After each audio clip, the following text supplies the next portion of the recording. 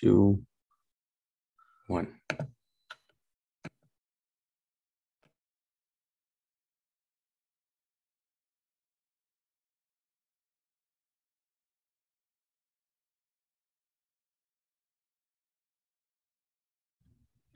Good morning, everyone. Welcome to our webinar, A World of Transformation, Moving from Degrees to Skills-Based Alternative Credentials.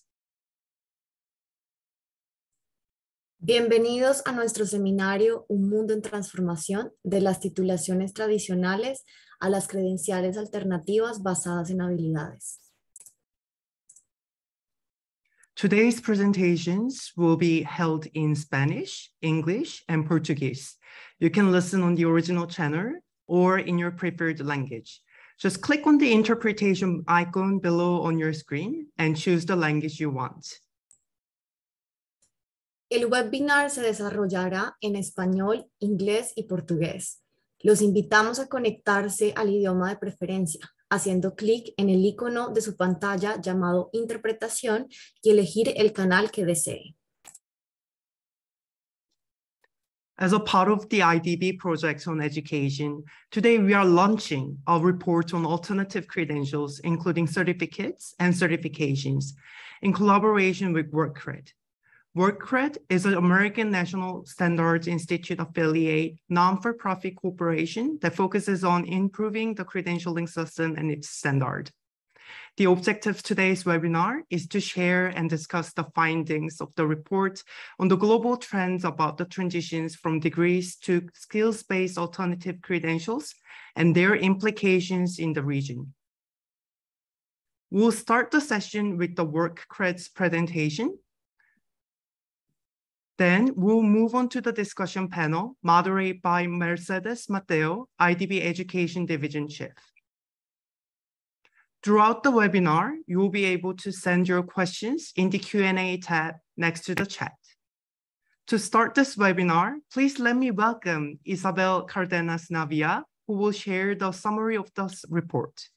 Isabel serves as a WorkCred Senior Director of the Research to advance the research agenda and examine work, workforce credentialing issues and needs.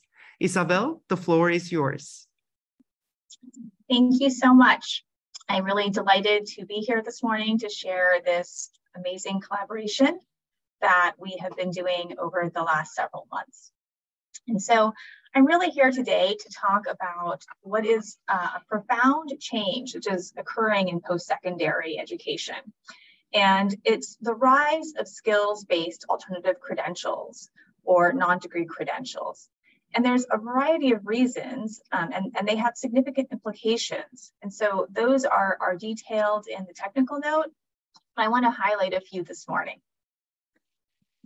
So, you know, why, what is driving this demand for alternative credentials? And I think that it really is this mismatch um, between the skills employers needs and what, what uh, skills individuals have. And that is in part due to you know, the, the fact that the jobs and occupations are changing quite quickly, in part driven by technological changes. And I think you know, re more recently accelerated by the pandemic. As we've really all struggled to adapt, we've seen the, the job, the, the skills needed in jobs change quite rapidly. So we see this, this mismatch. And when you look at traditional degree programs, we see that this is a, a chart really showing that the area of study for degrees does not necessarily match the needed studied or skills for jobs. And so we begin to see that degrees are not uh, really meeting this, this uh, different, this, this gap between the skills individuals need for occupations and those they are educated in. And so as we begin to uh, look at how, you know, this, this has really given rise to address this mismatch of new types of education programs. And so here is a great example where employers, because they are the ones who are you know, struggling to find the employees, have entered the space to look at how they can provide these non-degree these alternative credentials to get individuals to meet their skills needs. And so this is a So you have many large employers who are now entering this, this, this space.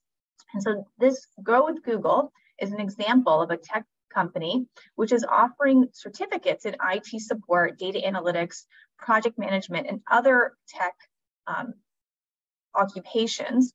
And the idea is that as they individuals can gain this these certificates, and it will be they will have the skills which are equivalent to a four-year degree and can enter occupations which have which require or need that type of educational background. And so you can see that really alternative credentials, this, this transformation of the shift to alternative credentials, it is so it can close the skills gap between the skills employers need and the skills that individuals have. And so they're really becoming crucial in this area. So I'm going to take a minute to look at, take a minute to go back and define what we mean by credentials.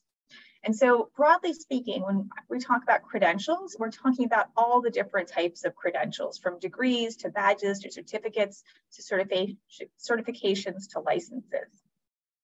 There's a lot of confusion sometimes about that language, but in, what we really focus on for not these alternative credentials are certificates and certifications. And so you can have certificates where you're completing a course, where it's really about, you know, sitting in a classroom and learning things or maybe doing some activities. There are certificates of training completion. So this may be apprenticeships or other types of hands-on work-based learning. And there's certifications, which are assessments, third-party assessments that, that look at an individual's competencies to make sure that they have the competencies for a position. So this chart sort of details the differences between these different types of um, alternative credentials.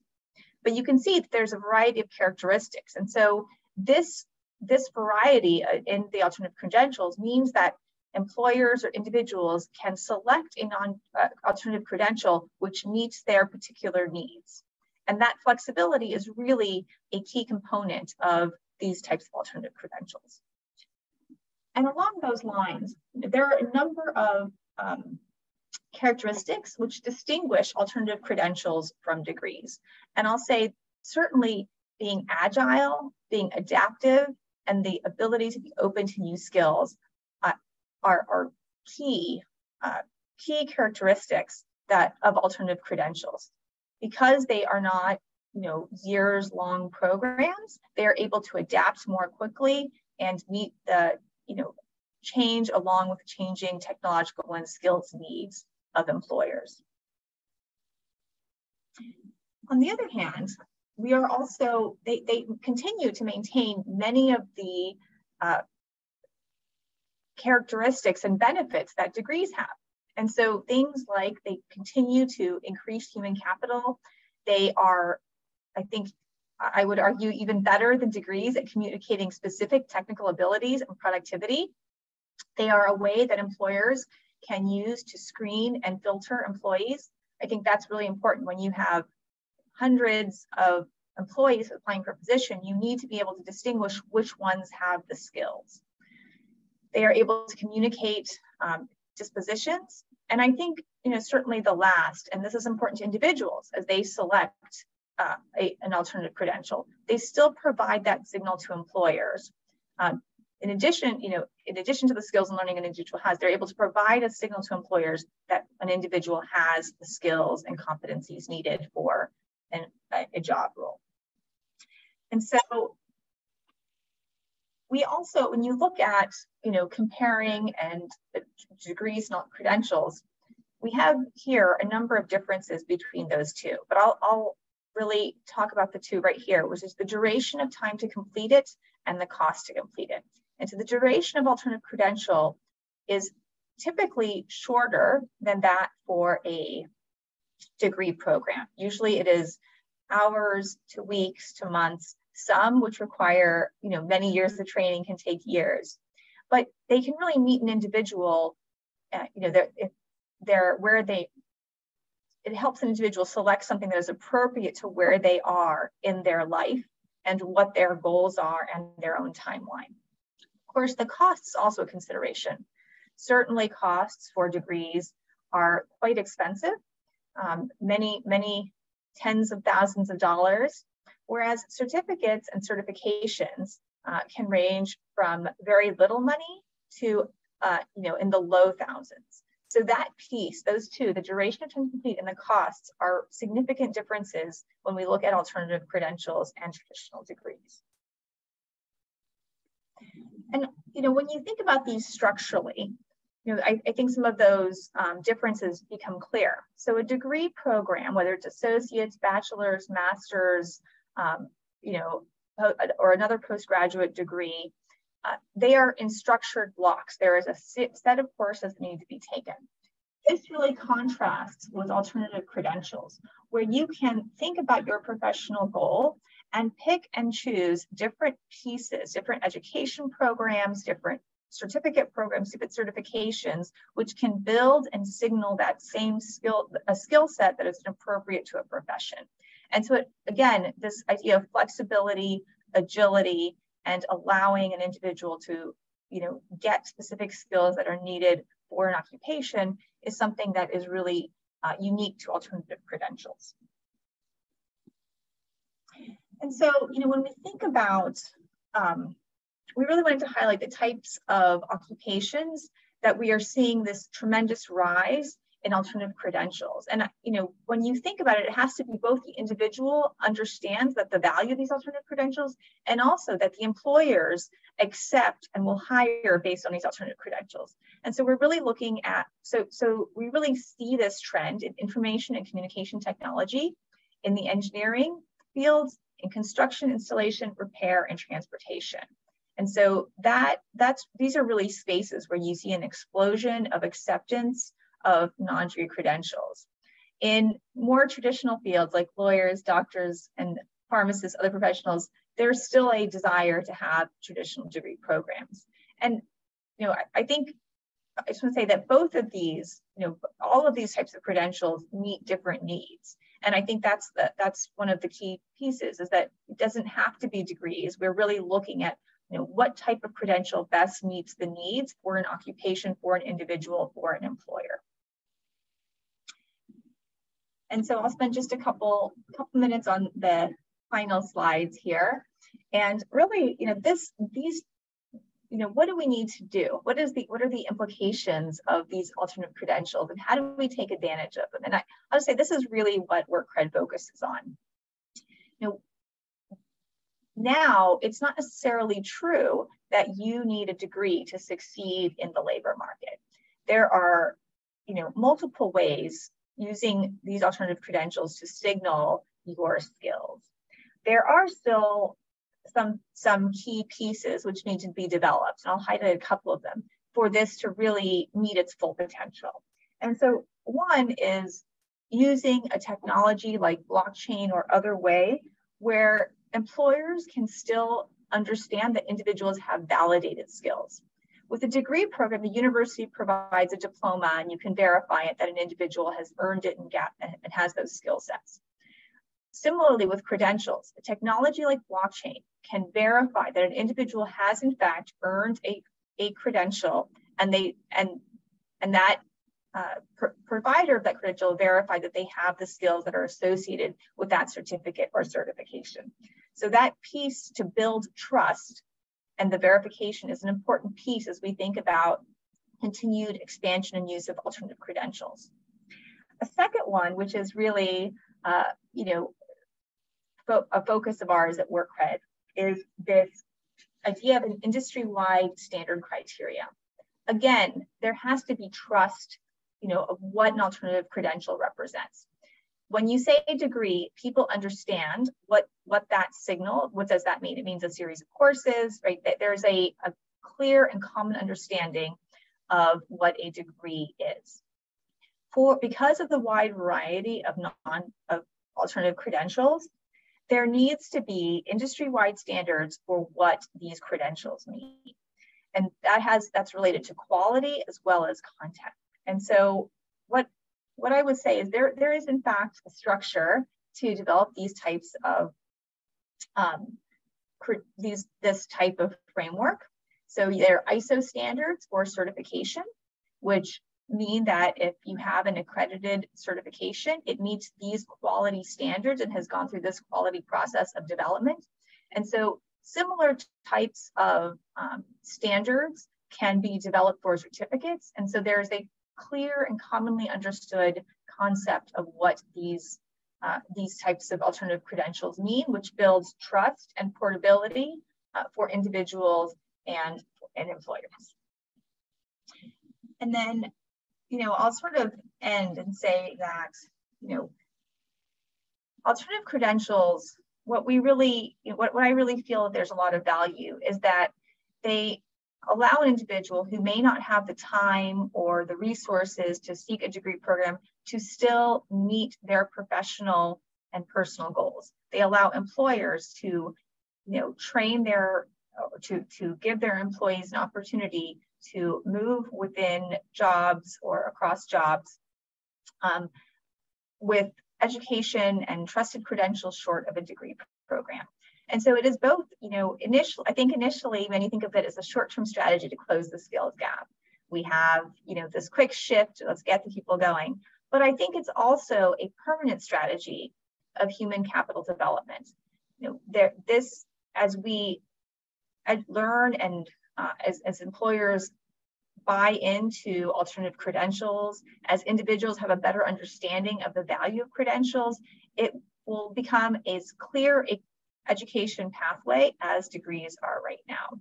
And you know, we while, while there is work to be done, we think there's a lot of potential and uh, a, a, lot of promise in alternative credentials, and that they're they will only continue to grow in importance in the coming years.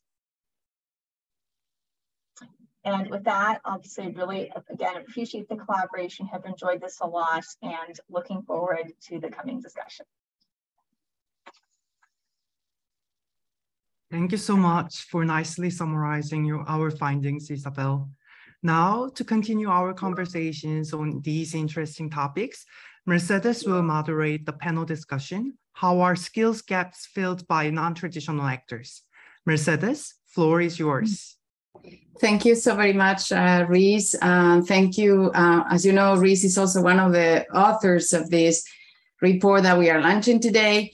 And thank you also, Isabel, for the presentation of the report that, um, as, as she mentioned, is uh, a result of the collaboration between IDB and WorkCred. Uh, hello to all of you who are connected, and thank you for following us online. Um, you can, as, uh, as you can see in the chat, you can download the report uh, using that link. And we look forward to hearing your comments and reactions through either this, this space, so this webinar, and also afterwards. Let's continue the conversation on this important topic. And now uh, we will, we will uh, rapidly move into a discussion between experts of different reference institutions and organizations. Uh, and we will be discussing the implications of alternative credentials for the region, for the Latin American and Caribbean region, for their countries. And, and for that, we have identified panelists and actors that through their organizations are contributing to transform education and, and, and to develop talent in the 21st century. Uh, let me very quickly do a quick round of, of introductions. First, um, from the OECD, we have Glenda Quintini, Senior Economist, Employment, Labor, and Social Affairs uh, Directorate at the OECD. We also have uh, Maria Spies, co-founder and co-CEO of Holon IQ. Uh, we have Amanda Brophy, director uh, at Grow uh, with Google uh, from, from Google. We also have Jose Escamilla, Associate Director uh, at the Institute for the Future of Education at the Tecnológico de Monterrey. We have also with us uh, Mariana Costa Checa, uh, co-founder and CEO of Laboratoria. And la last but not least, we have Nicole Amaral uh, from the Skills Transformation. She's a Skills Transformation Lead uh, for Latin America and the Caribbean at Coursera. Welcome, Glenda, Maria, Amanda, Jose, Mariana, and Nicole. Thank you so very much for, for joining us in this, uh, in this conversation and for being here with us today. Uh, we are going now to be reflecting together about the initial questions that Reese mentioned and, and Isabel. Um, will alternative credentials replace traditional degrees? What is the driving demand for non-degree and alternative credentials? How are the two systems uh, coexisting? What is the tension uh, behind those those two those two uh, models of of uh, working and developing talent? And what are the occupations that are more open to these alternative credentials? Uh, but before moving into uh, the first question, I have one more request for all of you who are following us online. Please do not forget to send your questions through the Q&A uh, tab and also download the, the report. We will start with Amanda Brophy. Uh, as I mentioned, Amanda leads Google skilling work, uh, including the Google Career Certificates program, and uh, that, provides people access to in-demand, high-paying jobs, regardless of educational background or work experience. And under her leadership, these certificates have provided significant upward mobility to 70,000 70, job seekers. Uh, Amanda, from our study, we learned that Google would treat Google career certificates as the equivalent of a four-year degree for related roles in their hiring. And we also know that Google has an employer consortium that hire Google career certificates.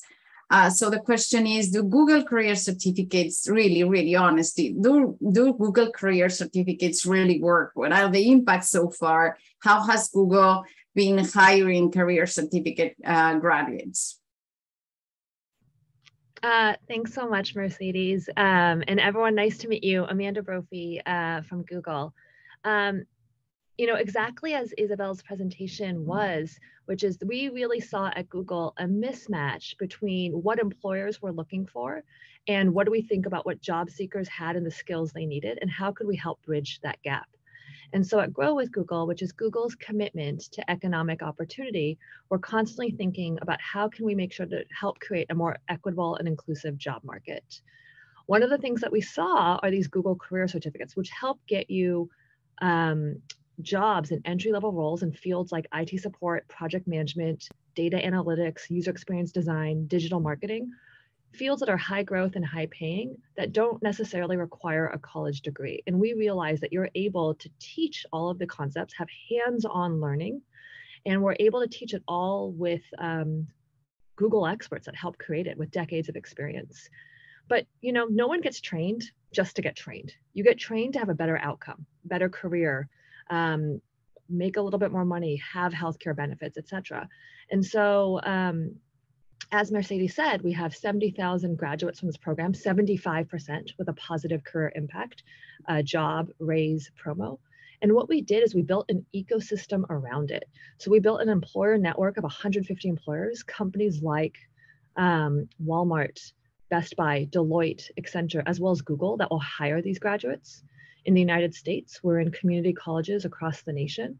We're working with four-year universities to help bridge the gap and really think of these short-term credentials as a um, and, not an or.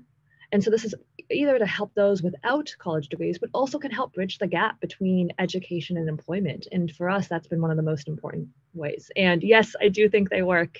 Um, we hire these folks at Google um, as well as in our employer network.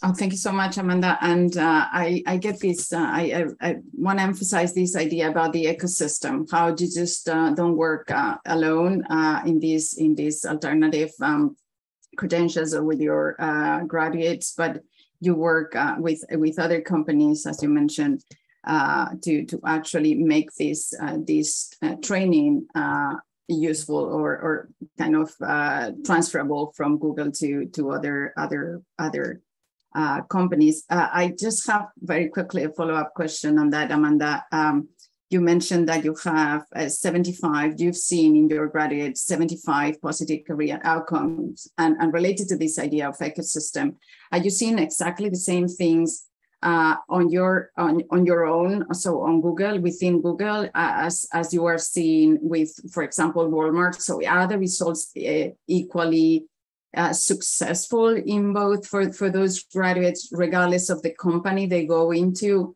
provided, of course, I understand that they are part of this ecosystem that you've been working with? Yeah, so I think there's two ways to think about it. The first one is actually the way we created these Google Career Certificates is it was actually an internal pilot at Google, which is we thought about could we help create more diverse talent? And that actually meant for us not a four year degree.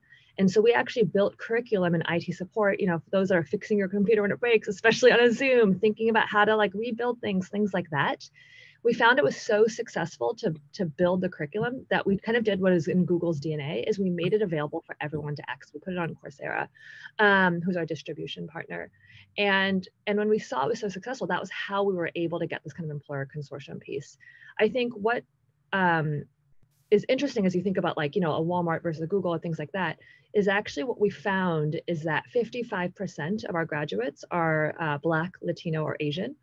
And a little under 40% come from the lowest income strata, so making under 30K a year. Um, and so one of the things that we've really seen is this is a really great way to bring in diverse and um, kind of a new pipeline to various employers, which I think is what makes this so appealing. That's great. Thank you. Thank you also for emphasizing this idea of uh, how diverse of the population that you are, I mean, this talent that you are tapping into, uh, untapped talent, actually, we could we could call it because it's um, it's clearly providing opportunities to these and these different people with different backgrounds. I think it's it's great and it's a, um, actually a, a great contribution to closing the skills gap uh, so so thank you thank you for sharing that, um, Amanda. And now uh, we I would like to turn into Amanda actually mentioned their partnership with Coursera. I would like to turn to uh, Nicole. Hello, Nicole. How are you? Welcome. Thank you.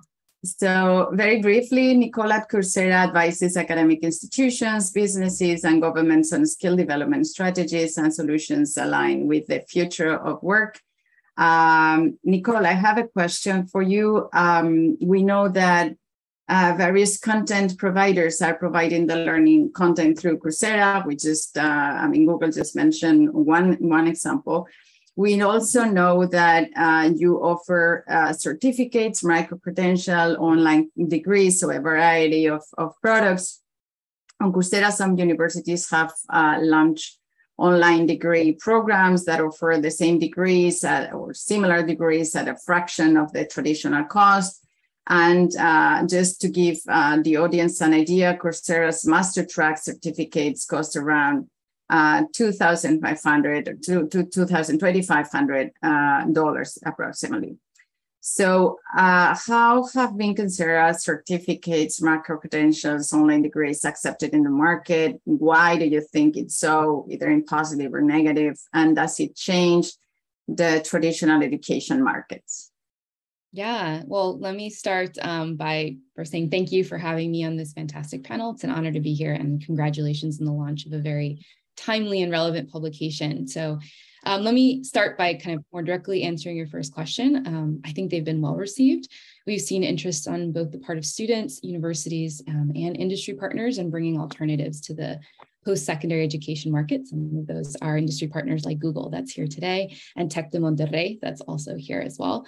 Um, and so among our professional certificates, for example, we have over 2.1 million enrollments in the entry level certificates, and we've seen 141% um, growth year on year on those in, enrollment in those certificates. And with our degree programs, on maybe on the other end of the spectrum, we have over 16,400 um, degree students enrolled as of March of this year, and we are seeing 22% growth in enrollment in those year over year. Um, and nine of those degrees are now um, offered by university partners in Latin America, um, and six were launched just, just this year. Um, but I think it's, it's really interesting that you highlight cost.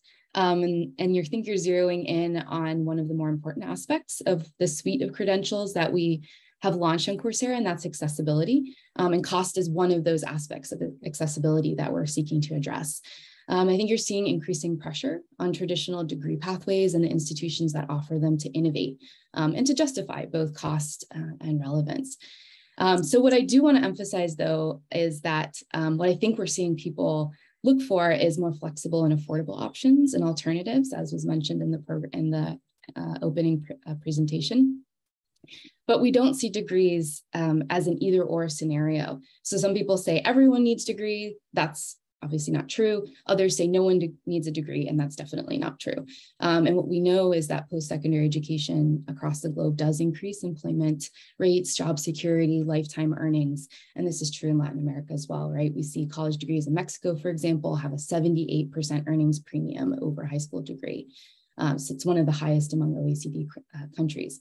So where I think we're trying to focus is on making degrees more accessible, bringing them online so that people can complete them more flexibly um, and on their own schedules in, in different geographic locations and at being at a lower cost is part of that equation. But there's another aspect to that, and that is making permeable degree pathways that are more accessible and stackable and job relevant. Um, and stackability is one of the things and unique aspects of Coursera's learning ecosystem that we're working towards. And I'll give you, you know, two examples of that. Um, first, we've seen that 50% of those who do end up enrolling in a degree program on Coursera started by taking an open online course. So even the original MOOC uh, format can be a door opener into a degree.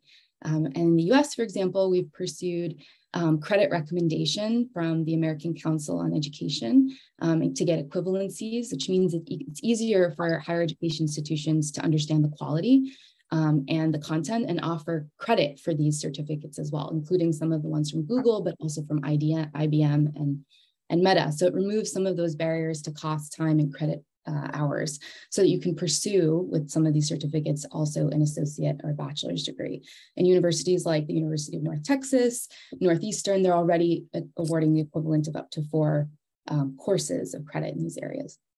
And I think what's really exciting in the region in Latin America is that we're also seeing a number of universities uh, across Latin America use Coursera content and professional certificates, like the Universidad um, Uniminuto and the Universidad Peruana de Ciencias Aplicadas, Universidad de Guadalajara, where we're working them to actually rethink curricula and think how we build these professional certificates or other types of skill focused learning that's offered on Coursera into their curricula for academic credit in a wide variety of kind of modalities so that students graduate with their degree, but they also can graduate with professional credentials and benefit from multiple signals to the labor market.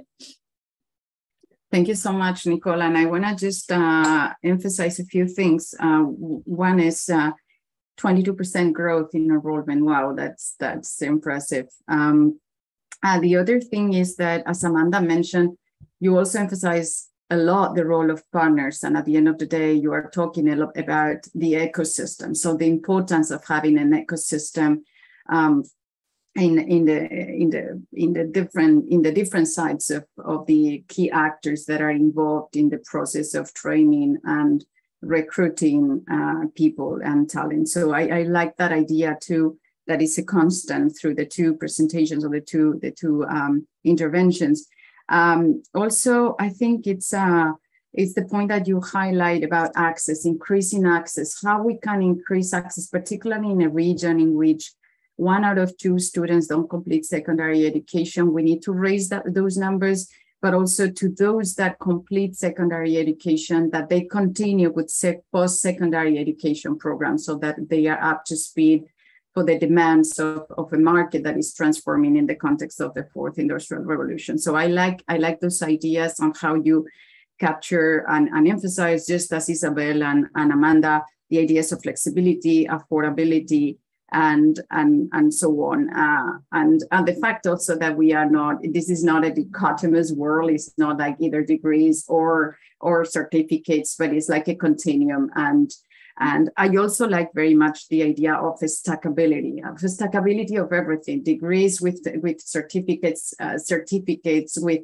degrees eventually, and that idea of a continuum. We really need to help individuals to build that continue because we will have to reinvent ourselves and transform and move from from different occupations in a world that is producing different jobs and, and inventing producing new jobs uh, by by the minute so I, I, li- I like that idea as well i, I still have a question uh, that uh, I see that there is an increase in demand. You mentioned that number, 23% growth in involvement. I still see that there might be a challenge in how those th this training translates into more jobs and in, in, into employability basically and, and not just accessing to jobs but accessing to quality jobs. And i think there we might have still a little bit of a challenge. And and, and the other the other issue that uh, we discussed before with uh, with amanda is about transferability. Maybe when you get it and you get a certificate from a company that is custom made to that specific company but how does it help you to eventually move from that company to another company. So I see those as as as two um, as two important challenges. Uh, but thank you, Nicole, for those uh, reflections. Extremely extremely useful. And now we're gonna move uh, into uh, to uh, Mariana. Laboratoria, uh, as you know, um, I, I'm going to switch to Spanish very quickly here. Es uno de los programas de codificación, Coding Bootcamp, que son pioneros eh, en la región. Eh, Mariana, bienvenida. Eh, es la cofundadora, como muchos de ustedes saben, y directora general de Laboratoria, una organización que empodera a las mujeres que sueñan con, un futuro mejor para que inicien y desarrollen carreras en, en tecnología. Mariana, ¿inglés o español? I think we can go in English. let's do it let's do it in english then so uh, from our report we know that some of the people that graduate from coding boot camps can make as much as someone with a university degree in computer science uh, what is important here is that a coding boot camps, a boot camp, and we've been discussing the issue of affordability with Nicole, cost in terms of time and money a fraction of a university degree. And I think that is key in the in this equation based on your experience in laboratoria, is that really true? Can a student uh, that graduates from laboratoria make as much money as a student that graduated from a traditional computer science, science university degree? Is there a myth involved? Uh, is this wishful thinking? Is this really true? Uh, what do you think, Marianne? Yeah, thanks, Mercedes, and thank you for the invitation. Really interesting conversation. Um, so the first thing I would say, um, it's that it it's really um, important to to see coding bootcamps, not necessarily again as a replacement for traditional degrees. Um, so when we talk about, for example, who are our students at Laboratoria, the average age of our students is 28 years old. So we are not talking about an 18 year old that just finished high school and is looking for an alternative uh, because she might not be able to afford higher education, for example. We, we, do have some cases of younger students, but really the core of our students are in their late 20s, early 30s.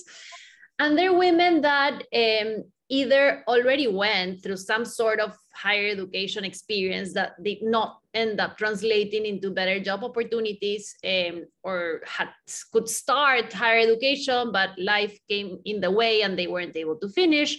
So they are already in their late 20s often either outside of the workforce or just uh, doing uh, non-skilled low-paid jobs. Uh, and, and i think that most students that pursue a full-time immersive bootcamp that has an expectation of job placement are probably students uh, that are either in, in this stage that i'm describing from our students or that want a career change and want a full reskilling path to start a new career in the world of software. Um, so, so I think that's that's something important to signal. The second thing is that also not all bootcamps are created equal, and this is something that that I talk a lot about because we need to be very careful. Uh, first, the World Bootcamp it's pretty it's pretty big so it depends why what do we understand by bootcamp but when we talk about programs that that have the outcome of placing people in the job market in the short run, say in, in under a year, you know, in any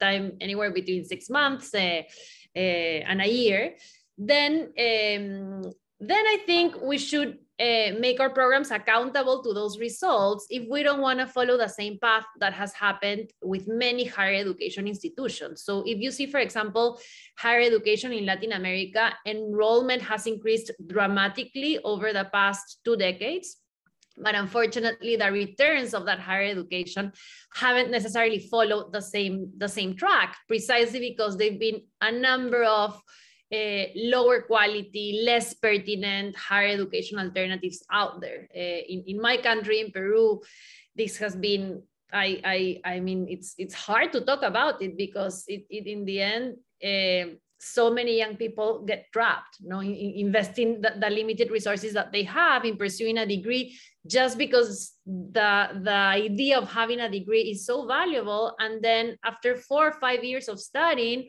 they have a degree that has absolutely no relevance in the market. So with coding bootcamps, I think we, we need to make sure that we don't follow that same path and that we we stay we keep up to our promise of placement um, and that is not it, i think it's easier said than done it's actually pretty challenging to to get someone uh, job ready in in as little time as six months. In particular uh, someone that maybe hasn't worked before that this is going to be their first time holding a, um, a full-time job in the formal economy. Uh, it's obviously doable and that's what we've been uh, trying to figure out over the past few years and, and many other organizations in this space.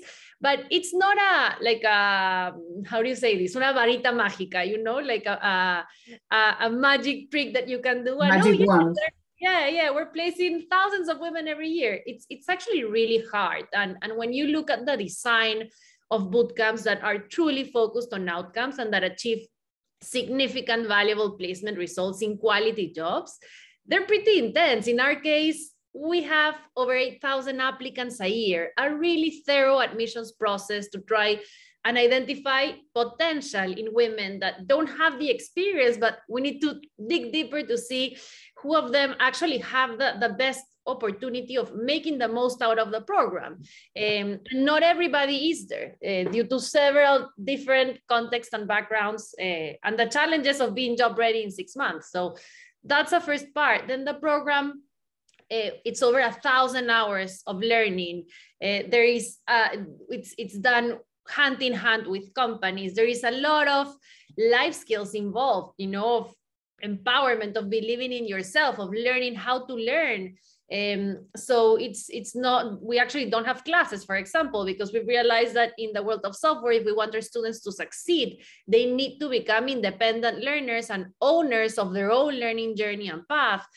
The placement effort for someone that hasn't had a job before or a, for, a job in the formal economy it's also pretty significant. It's well worth it because we do see that once they get their first job, then they, they're ready to fly and they don't no longer need us, need us or anyone for their second or third job. And the payoff, it's a lifetime payoff because we're getting women that now will will be for life able to grow in their careers but you need to put a lot of effort in building all the holistic skills that you need to actually go out and be competitive in the job market um, so so it's not as, as, as sometimes it sounds easier and, and we always see there's a number of programs you know yeah we want to train thousands of developers and get them placed and I, I'm always a little bit cautious um, because because we live it firsthand and, and, and it's hard. In, in our case, we are a placement program. That's that's our core focus in the bootcamp. Last year, we placed 88% of our graduates with salaries that are competitive with university salaries. Our average exit salary was uh, over a thousand one hundred dollars in Latin America. That's that's pretty competitive it's more or less the same that you get out of a degree in a good school. Um, it's a drastic change from what our students were earning before, which was around $300. Most of them were actually not making, not having any income. Um, so it's significant, but we trained 600 women. And, and this is our struggle. I always try to say 600, it's great but it's not enough no how can we push that to hopefully 6000 and i think this is the trade-off between in-depth programs um, that have that outcome in the short run versus programs that uh, maybe maybe get to that same outcome but in the longer run. And i think it's important to have a combination of both things no? Uh, coming back to what, what both amanda and nicole were mentioning uh, it's really about an ecosystem. A bootcamp is not for everyone um, and there needs to be a diversity of options to get to that same outcome. Now we for example are launching a new program because we precisely realized that full-time six months is, is not a possibility for many women it's just not because there's other responsibilities um, being job ready in six months is not for everyone. Some people need longer time, you know, to mature other aspects. Um, so, so we want to have in parallel the, the, immersive option, but also alternatives around certificates where you start stacking uh, skills and maybe you won't get there in six months, but after two years, you'll get there. Uh, and that's also incredibly valuable. Thank you, Mariana. And uh, yeah, I, I, I really, it really struck me the fact that, um, well, I, the kind of the, um, the, the population that you attract, uh, it's, it's, it's interesting because you are talking about uh, late 20s, early 30s. That's, that's an interesting uh, age range and, and also people that are eventually unemployed or in, in, in jobs that are low skill, low pay, and they are looking for a change in career. That's that's something something interesting. The other the other thing that really um, caught my attention is the fact that your emphasis on both quality of the programs and relevance, but also on the selection process that accompanies that. So uh, a higher quality supply, but also a higher, a more selective process to uh, to identify the right the right students. And this is something that i'm sure most of most of us think of uh, not necessarily at, uh, linked to boot camps or these alternative credentials but more linked to the traditional university degrees. And i think that's something something really important to, to, to put on the table the fact that also these type of alternative programs or these credentials are becoming more selective when they identify uh, potential students. And so that's that's another another important thing. The other issue uh, I uh, that that that I think it's a key issue uh, for any type of program, public sector, private sector, is the issue of scale. How do you take these programs that you mentioned to scale? How you move from 600 to 6,000 and eventually more? Because the amount of, of, of talent that we need to that we need to train uh, uh, and develop uh, in, in this context today is, is huge. So thank you for thank you for that, Mariana. Very, very um, interesting uh, your, your, your points. And now we're going to move to um, José Escamilla, el director del Instituto, como, como mencioné, para el futuro de la educación, del Tecnológico de Monterrey. Como todos ustedes saben, el propósito del instituto es generar, transferir, difundir conocimiento aplicable sobre innovación educativa, conectar, inspirar y acompañar a aquellos que están buscando soluciones disruptivas para el futuro de la educación superior y el aprendizaje para la vida. Bienvenido, José. Un gusto tenerte aquí. Encantado de estar aquí. Gracias, Mercedes. Gracias, José. Em, de nuestro informe eh, salen algunas conclusiones, hemos estado viendo, nos las ha presentado Isabel, que las instituciones de educación superior han transformado también, han adaptado su oferta para responder a esas demandas del mercado, eh, de los estudiantes, de los jóvenes, del talento eh, disponible y, y, y, además también para, para, para de alguna manera responder a esos interrogantes que hay hoy sobre las titulaciones académicas tradicionales. Eh, en términos de costo, tiempo y calidad. Eh, el TEC es justamente uno de esos ejemplos de institución tradicional, pero, pero que ha sido capaz de innovar eh, en educación superior. Es uno de los referentes, de hecho, en innovación en educación superior. Y siendo un referente, siendo vosotros un referente educativo en la región, ¿qué habéis hecho para que vuestra oferta sea relevante, sea accesible eh, ¿Y cómo, cómo veis este tema del el potencial, la potencial disminución de valor de títulos y la creciente necesidad de mayor aprendizaje adaptado a las trayectorias educativas y laborales de cada, de cada estudiante, un poco en esa línea de lo que conversábamos con, eh, con Amanda, con Nicole, eh, de, de, la, de, de, la stackability de, los diferentes, de los diferentes certificados, títulos, etcétera, que uno va adquiriendo a lo largo del año. Sí, gracias por, por las preguntas. Quiero comenzar por, um, por esta segunda parte de lo que hablabas ahora, que creo que en el chat pusieron una pregunta si los títulos universitarios van a volverse irrelevantes, ¿no? Y me parece que a mí me podría tocar contestar esa pregunta porque soy el único representante de, una, de una universidad. Yo creo que vamos hacia un mundo donde vamos a convivir con programas eh, universitarios y programas más cortos orientados al desarrollo de competencias o credenciales, eh, y que el estudiante al salir del bachillerato va a enfrentarse a esas dos opciones, una opción de eh, más corto plazo, en donde se va a formar rápidamente para el trabajo, y una opción de más largo plazo, en donde va a formarse a través de una universidad. ¿Cuál sería la diferencia entre esas dos formaciones? En mi opinión, las personas que se formen en la universidad, el programa universitario tendría que darles a ellos un bagaje inicial, unas habilidades para que en el futuro, cuando se tengan que reinventar, sea más fácil que se reinventen, ¿no? Por estas habilidades que generalmente llamamos habilidades suaves, como aprender a aprender, la colaboración, y a mí me gusta llamarle en inglés power skills, como habilidades clave, ¿no? Que son tan importantes. Y las personas que se vayan por una formación más corta, probablemente les vaya a tomar un poco más de tiempo eh, reinventarse, ¿no? Esa, esa sería mi, mi especulación sobre el futuro.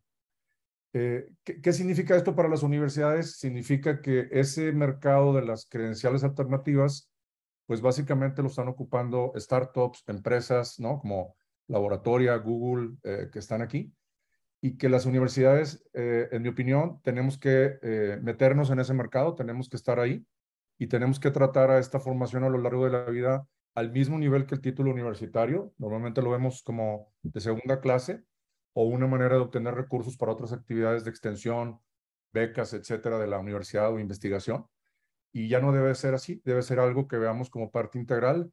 A mí me gusta la idea del currículum de 60 años, es decir, que la universidad piensa que un estudiante que llega a la universidad no se queda solamente cuatro años con nosotros, sino que cómo nos podemos volver en el socio formador de la universidad, del estudiante, perdón, para el resto de su vida, ¿no? Por eso de, de 60, de 60 años. Y bien, ahora pasando al tema de qué es lo que hemos hecho en el TEC de Monterrey, no tenemos varios años alrededor del tema de credenciales alternativas. De hecho, en el 2019 sacamos un reporte del Observatorio del Instituto del Futuro de la Educación alrededor de este tema y eso pues permitió pues comentar esto con la comunidad, pero también internamente dentro del TEC. En particular dentro del TEC hemos hecho varios experimentos, pilotos, eh, sobre todo en el posgrado, eh, que nos han permitido eh, entender, hacer investigación y validar el interés y la, y, la, y la factibilidad, digamos, de estos programas cortos. Hace un par de meses, después de este espacio de experimentación, lanzamos una normatividad interna que ahora define dentro del TEC de Monterrey qué son las credenciales alternativas, tanto para el pregrado como para el posgrado. Y en realidad, las, y para los programas de formación a lo largo de la vida. Una credencial alternativa, entonces, es eh, una, una experiencia de aprendizaje que responde a una necesidad del mercado laboral, de la industria, de los negocios, pero también eh, de las necesidades de la sociedad eh, o de necesidades personales o culturales, ¿no? Y esas credenciales alternativas son títulos que pueden ser totalmente independientes de un grado académico formal, de pregrado o posgrado, o pueden ser complementarios o acumulables eh, como hablábamos de stackability hace un momento en inglés, pues a eso me refiero, hacia un grado. Eh, están muy conectadas con las necesidades de la, de la industria y la sociedad, como lo comentaba, y se pueden ofrecer en cualquier, en cualquier modalidad. Nosotros hemos hecho la diferencia en, eh, dos tipos de programas, micro credenciales, que son hasta de 95 horas, y macro credenciales que van de 96 a 700 horas. Todas las microcredenciales que ofrecemos dentro del TEC eh, otorgan insignias eh, digitales y al día, al día de hoy hemos hecho ya, pues, como decía, pilotos en, eh, en pregrado y en posgrado. Y en posgrado tenemos en particular programas que en nuestras propias plataformas hay alrededor de 25 programas de, del área de educación continua que están en proceso o ya están listos para ofrecerse como programas de credenciales alternativas con esta mirada de la que acabo de hablar, que permiten algunos eh, stackability hacia algún programa de posgrado. Y también hemos hecho lo mismo en, em, eh, el bachillerato. Hacia el futuro vamos caminando en el bachillerato también, en, eh, poder enriquecer em, todo lo que hacemos con los estudiantes, que puedan obtener estas credenciales alternativas a lo largo de su grado, a lo largo de su grado, de su pregrado, perdón. eso nos permite, lo podemos hacer porque nuestro programa modelo educativo TEC 21 que está basado en competencias y en retos, en donde los estudiantes trabajan en retos de la industria, los negocios, gobierno, organizaciones de la sociedad civil, es relativamente fácil eh, tener esta práctica que se requiere para poder otorgar estas credenciales alternativas, representadas también con una insignia digital en el blockchain. Y también estamos trabajando para que hacia adelante este, tengamos otro tipo de experiencias que podamos vincular, reconocer aprendizaje obtenido en otros lados eh, y acreditar, eh, digamos, estas competencias hacia el posgrado. Eh, otra, otra actividad también que hemos estado haciendo alrededor de esto es reconociendo que en América Latina es la región del mundo con la brecha más grande de talento. ¿no? creamos un programa que se llama T-Price, es un programa de innovación abierta en conjunto con la Universidad de los Andes en Colombia, en donde eh, cada año lanzamos una competencia para escoger a cinco eh, empresas, startups, eh, organizaciones de la sociedad civil que tengan, que estén trabajando en la brecha de habilidades para el trabajo, cada año atendiendo a un grupo distinto, digamos, de, personas en el reto del, que lanzamos cada año, como pueden ser mujeres, indígenas, gente en condiciones de, que estuvieron en la cárcel, por ejemplo, grupos generalmente vulnerables y lo que buscamos son soluciones que ofrezcan eh, em, un enfoque tecnológico que permita escalar eh, para que estas personas tengan eh, mejores opciones de formación a través de credenciales alternativas. ¿no? De nuevo, es lo que estamos, justamente de lo que estábamos hablando en este, en este momento. Y, bien, también estamos hacia el futuro, pues tenemos un, programa en particular de habilidades digitales que estamos eh, creando dentro del TEC, que va a estar dirigido a públicos muy diversos para eh, buscar eh, estas necesidades de la industria, los negocios y la sociedad, cómo los podemos satisfacer. Y también tenemos una serie de programas en nuestra universidad hermana Tech Milenio, que ha estado haciendo mucho alrededor de esto también, particularmente con temas digitales. Muchas gracias, José. Tengo una pregunta ahora que estamos en confianza y no nos escucha nadie. Eh, ¿Alguna vez hubo un momento de crisis en el TEC ante esta disrupción que estabais viendo, un punto de inflexión en el que dijisteis o nos transformamos o morimos? Sí, cuando dijiste que no, que no nos oiga nadie, revisé la pantalla y dije, se cayó el Zoom. Eh, eh, no, es algo que me han preguntado mucho porque nosotros decidimos cambiar eh, es una decisión que la hicimos, creo, en el mejor momento, cuando nadie está dispuesto a cambiar, generalmente, porque no teníamos un problema financiero, no teníamos un problema de selectividad de alumnos o de alumnos que lleguen a la universidad, no teníamos ningún problema, simplemente fue una, eh, un trabajo que hicimos internamente con, eh, entre nosotros, con el Instituto del Futuro de Educación y la universidad, los miembros de la universidad, que pensábamos hacia dónde debería de ser el futuro de la educación superior y que nosotros no queríamos ser simplemente espectadores de ese futuro o surfear, vamos a decir, la ola, sino que queríamos estar eh, en la ola, ¿no? Queríamos ser parte de la ola y creo que todavía estamos a tiempo para que las universidades, los que estamos aquí, eh, startups, empresas, seamos parte de los creadores de ese futuro, ¿no? Entonces, es la parte que, que nosotros tuvimos esa firme convicción. Eh, se planteó un proyecto con mucho rigor y tenemos un consejo, también es una suerte, que apoyó, no sin cuestionarnos, que apoyó esta, esta transformación en el TEC de Monterrey, que, bueno, para, ha sido muy exitosa, la verdad. Muchísimas gracias, José. And now we're gonna um, turn to Maria Spies from Holon IQ. Uh, she is the co-CEO uh, at Holon IQ, and as you all know, uh, is the world-leading platform for impact uh, intelligence. Uh, Maria has worked in public uh, and private higher education for over 20 years in the APAC region, specializing in transforming education through technology. And uh, she has also built and led global innovation teams, driving innovation in curriculum teaching and the student experience. Welcome, Maria. So great to have you, you here with us.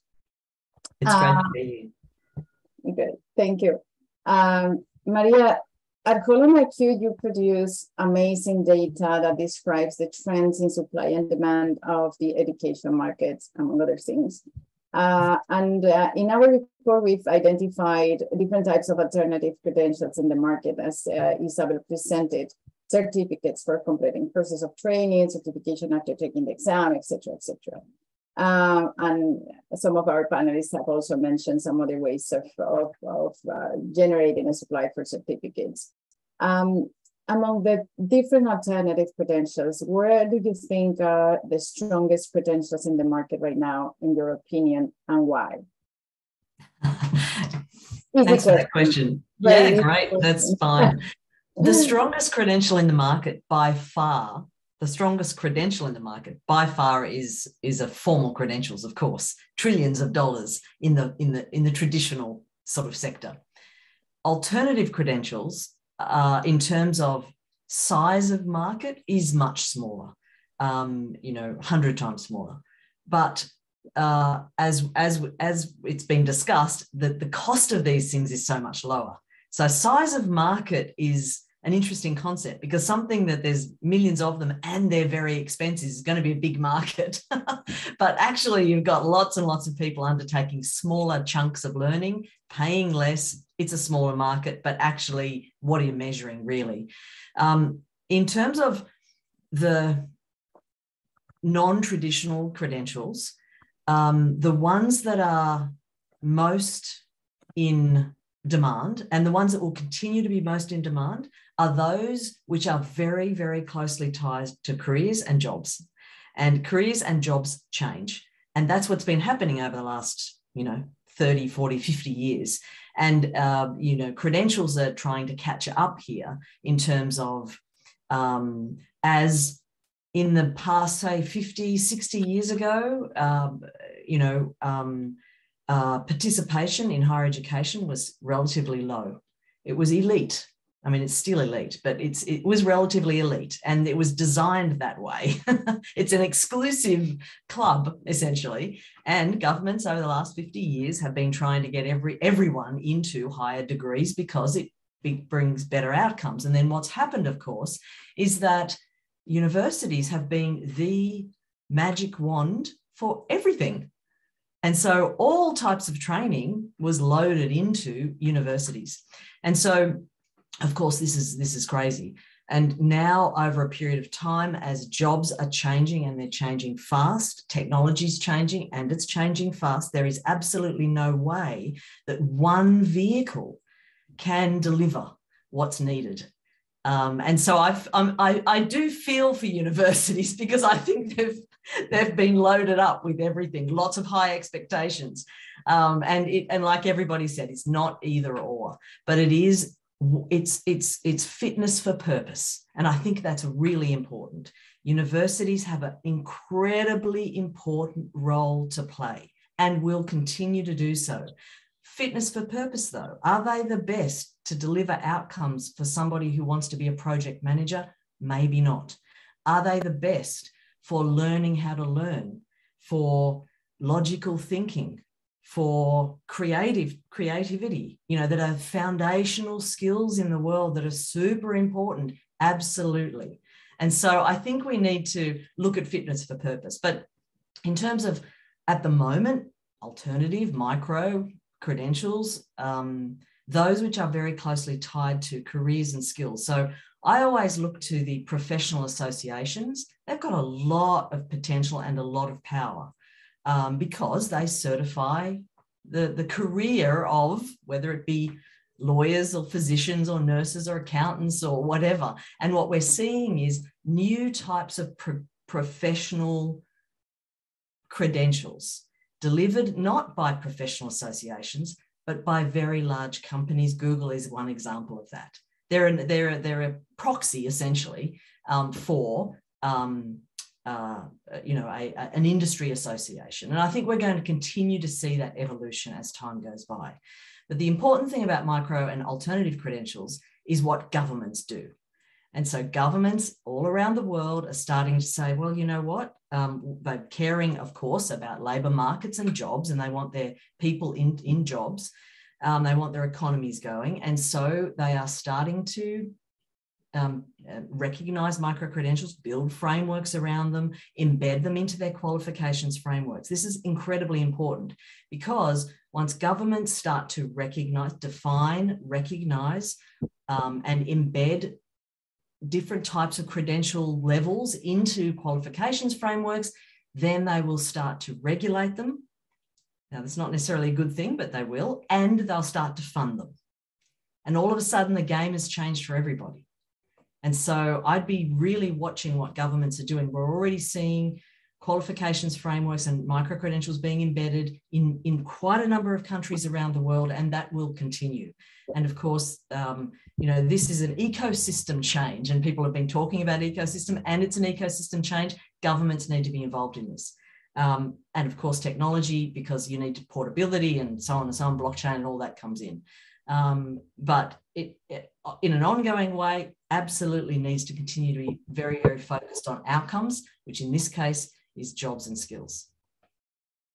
I, I yeah, absolutely, Maria. And I think um, one of the points that you've raised how uh, higher education or post-secondary education is transforming uh, from a more kind of boutique education, elite education to a mass uh, education from exclusivity to something that more people can, can, uh, can, can access and and it's not just it, it doesn't just have to do as you as you described with the fact that we are becoming more egalitarian or more concerned uh, although I know that you emphasize the role, the importance of the role of the government that needs to, to do this balancing act, act of, of distribution and redistribution of opportunities. Mm-hmm. But besides that, there is actually a pressing need on the market to have more people with higher level of qualifications. Mm. There are more sophisticated jobs and, and there is a demand for having not just a portion of the population or the talent, but much more people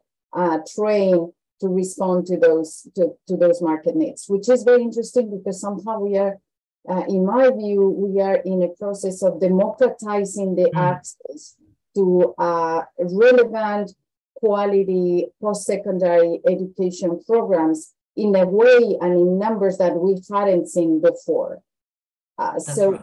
I think I think that is that is a very that is a very interesting uh, trend, and I thank you for for that for sharing with that, that with us that that reflection. I think it's uh, it, it's great, and um, and because you emphasize the role of government and now I want to turn to Glenda uh, Quintini. She's a senior economist, as, as, as, I mentioned at the beginning at the OECD.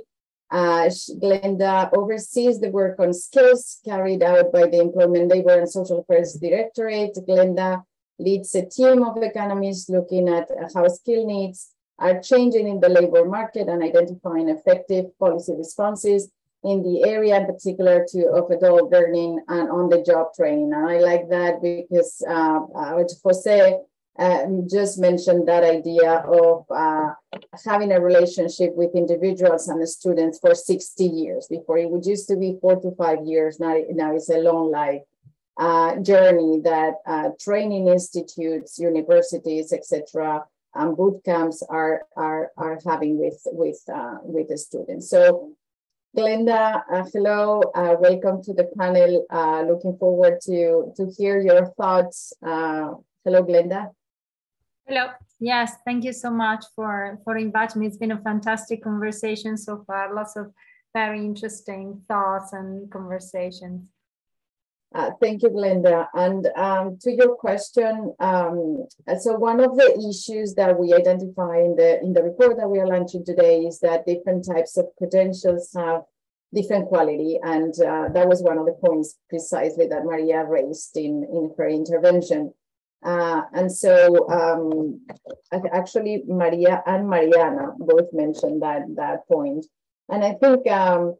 Uh, evidence indicates that industry-wide standardized criteria can be a key factor for the strong market value of alternative credentials. This, you and I have already had this conversation in the past, both in, in private settings and, and in, in also in webinars that you organized at the OECD. I, I know that this is a, this is an issue that you you care a lot about. Uh, so how can governments, uh, talking about the role of governments that Maria brought and put it at the center of this conversation, how can governments in Latin America and the Caribbean better help establish industry-wide standards for alternative credentials? Yeah, thank you very much. This is a, a, very relevant point. I like very much with what Mariana said that not all boot camps are born equal. They often uh, ask us, you know, what's the returns to training? I mean, training is a big word. You know, there's millions of different trainings. Some have a huge returns and others are really not uh, uh, very good value for money. So I think it's a very, very good question. It, it's new in many countries. So um, I have to say this is a this is a new field uh, internationally, I think, but there are um, initiatives that are coming to pop up in terms of regulating in some ways uh, micro credentials, trying to uh, or alternative uh, uh, non-degree credentials uh, in various places. So uh, uh, for example, an example that comes to mind is uh, the European Commission, which in December last year came up with a proposal for a council recommendation. So for those who are not used to European language, a council recommendation is just a recommendation, it's not mandatory, but it is what it says, or recommendations for countries to come up with uh, uh, some sort of framework. So the idea is that this uh, approach that the European Commission is now developing will uh, uh, encourage countries to use uh, to have a definition and then to use a shared definition of micro credentials and or alternative credentials uh, to use similar standards to set principles for example for the design and for issuing um, the credentials. Uh, there's also a clear reference to an ecosystem. So I think that's very important. Again, we've heard that many times. So, so um, again, uh, mapping the market, uh, so the various stakeholders and ensuring they're collaborating. I think something that's very important uh, um, is, is the element of stackability and portability. And I expect this, for example, in the European context to have to, to be very important. And I think it is important internationally, and it's been mentioned in the conversations. Uh, in, in the countries in Europe, there's this idea that adult learning is an upskilling pathway. That's what uh, uh, that's the idea that came up a few years ago again from the European Commission. And because it's an upskilling and it's a pathway, people should be able to build on what they learn. So they should be able to stack um, any you know degree or credential they acquire they should be able to to move them. So they should be portable from one institution to the other. So i think these two elements uh, will be important and i think that probably be part of this recommendation to regulate the market uh, um, a, a, little bit. Um, i think there's other approaches. For example i one of the oldest approaches to um, again the government intervention regulation of alternative degree credentials is uh, alternative credentials is in New Zealand. Uh, so they've had uh, this uh, uh, for quite a few, for about a decade now. Um, and uh, that's a little different, for example, because they put employers at the heart. And so even when they allowed higher education institution to provide alternative degrees, uh, they mandated that they have to be developed in collaboration with employers. So this is a, an important element. Um, and then uh, they establish, for example, the number of credits or the number of hours um, that uh, uh, the degree should uh, have, the, the credential should have. they set a level. So for example, in New Zealand, it's quite broad. It can go from high school level uh, to uh, up to, to university, for example. Uh, and and then they they have also set quality assurance. Uh, so there is a quality assurance framework that applies uh, to these credentials, and they feed into what is the national qualification framework. So basically, they have a place somewhere which is recognized because they are uh, really led by the private sector and they're seen as something separate from the main education system, which is different from what, for example, uh, the European Commission is trying to achieve in Europe. And they are not as portable and not as stackable. so if you want, they are two uh, kind of slightly different, uh, slightly different uh, models. Um, I think one interesting point I'd like to uh, to add maybe two points. One is that the choice of how you um, again, set standards, regulating somehow depends a lot on the market, how the market looks like. For example, the whole discussion today has uh, also, I mean, many people have mentioned the cost. For example, if you take countries like uh, European countries, in reality, the discussion is almost the opposite. Degrees are free. Most people in most European countries, most adults can go back to education, do a degree for free. It will not be very useful to them. I totally agree with you. But the issue is precisely that doing, on the other hand, an alternative credential is expensive. So if you're high skilled, your employer will pay or you have the money to pay because you're in a high wage job. But uh, if you're low skilled, it's very difficult to access these alternative credentials. So I think it's important that whatever um, kind of standards and regulations you put in place, you also pay attention to, um, you know, how the, the formal uh, system looks like. And, and perhaps one, uh, um, uh, one, one last point is, is I think, and again, this has been said in some ways, I think the, the best value, in, in my view, is really in the collaboration between the public and the private sector. So obviously all the advantages of privately developed either by private training providers or by the private sector uh, are, are more in line with what's needed, immediately usable, very flexible and everything. But again, the element of stackability and portability is important if we are kind of designing pathways for people to, to then grow in, in their life, in their career, whatever point they start from. So I think for that, the public sector does have an advantage. That's what uh, Jose uh, was just saying, right? So being a formal institution allows you to uh, bring in that element of recognition that, that allows you to build, again, this stackability and portability, which is, mm-hmm. I think, very important. Yeah, absolutely, Glenda. And I think I, I just want to highlight uh, the fact that, uh, I mean, portability and stackability are, are key in this process. And as you mentioned, I really like how you um, illustrated that saying, okay, there are different models there, uh, depending on the involvement of the, if it is a private sector led movement or if it is a government with a private sector uh, movement and how uh, we have different cases, different different paradigms, so to speak, and, and the, the efforts that New Zealand, for example, of the European Commission are, are leading might be helping in this portability and stackability of, of these alternate alternate uh, programs. Uh, thank you also for bringing us to, for, for the perspective because the regional perspective, right? Uh, what what can be very costly in one region is not necessarily costly, and in the case of the European Union. Uh, the, the situation is reversed in terms of cost and therefore access. So it's very, very interesting to see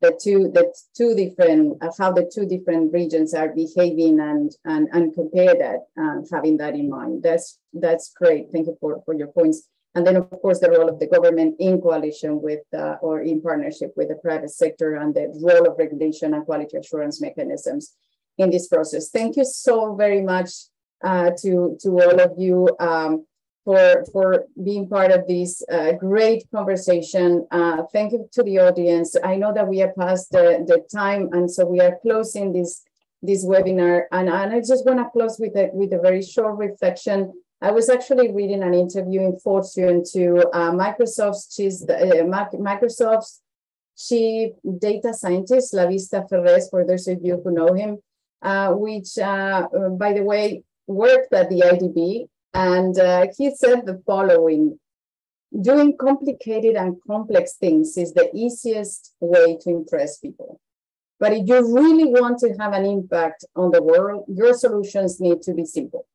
Building simple solutions is hard, but it's very powerful. So I just want to close with this because I was just thinking, okay, it seems that alternative credentials could be precisely one of those simple and powerful solutions today to close the skill gaps, to bring more opportunities to a lot of talent and top talent that we have, particularly in the, in the Latin American and Caribbean region, and very unequal uh, region in which not everybody has the opportunity to continue through post-secondary education.